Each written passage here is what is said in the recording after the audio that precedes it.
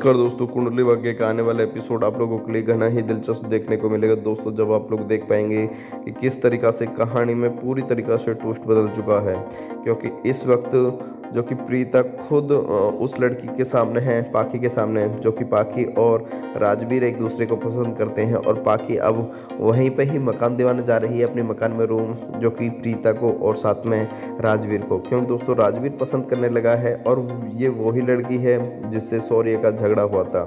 लेकिन दोस्तों, अब आप लोग देख पाएँगे कि किस तरीक़ा से जो कि प्रीता और आखिरकार लूतराज में किस तरीक़ा से झगड़ा होता हुआ नज़र आने वाला है? क्योंकि दोस्तों, प्रीता का ही बेटा है, इधर सौर्य है, और सौर्य के साथ साथ में आप लोग जानते ही हैं कि निधि को भी बहुत अच्छे अच्छी तरीक़ा से डांट पड़ती हुई नज़र आ रही है। क्योंकि दोस्तों सौर्य अगर किसी का बिगाड़ा हुआ है तो वो है निधि का।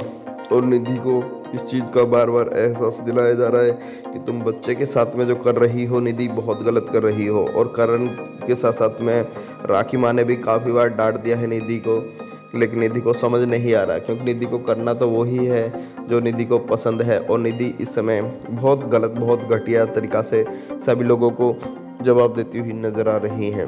आप लोगों को बता देना चाहता हूँ, हो सकता है जल्दी ही लूतरा परिवार से अलग हो जाए निधि, क्योंकि दोस्तों करण नहीं चाहता है कि लूथर परिवार में किसी भी तरीक़ा से कोई भी कलेश बढ़े, क्योंकि कलेश बढ़ने की उम्मीदें इस समय सबसे ज़्यादा हो चुकी हैं।